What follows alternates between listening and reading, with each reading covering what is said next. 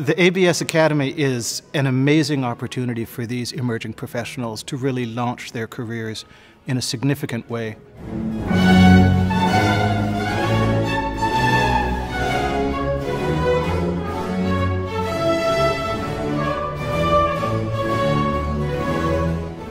Well, just the fact that this program exists is a beautiful thing.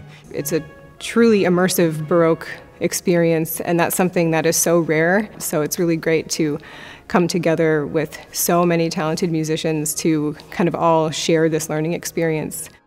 I really wanted to come back to the academy just to listen to the faculty again, to hear what they have to say, to hear their take their insights, to just kind of immerse myself in their in their vast knowledge that they provide um, to us students here. It's just a, it's such an invaluable experience.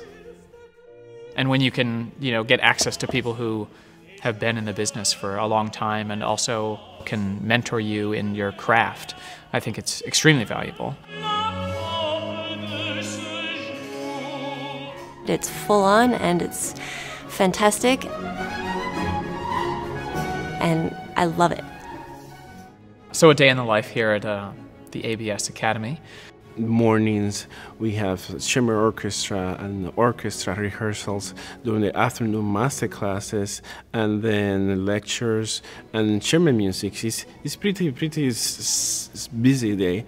I think I've learned a lot, especially from just working with these faculty members. We get to play in ensembles with faculty members and you know who are you know working professionals. Uh, all the faculty are, are brilliant. Jeffrey is is really great to work with, and it's great to work with a conductor who also comes from a singing background.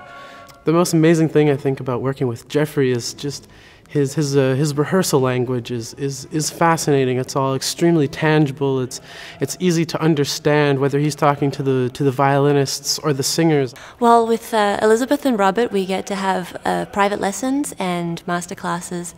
Both of them are really terrific teachers. They teach you musically and emotionally and technically, and with all those things combined. All my colleagues are so friendly, and working with Debra Nagy is just such a pleasure and an honor.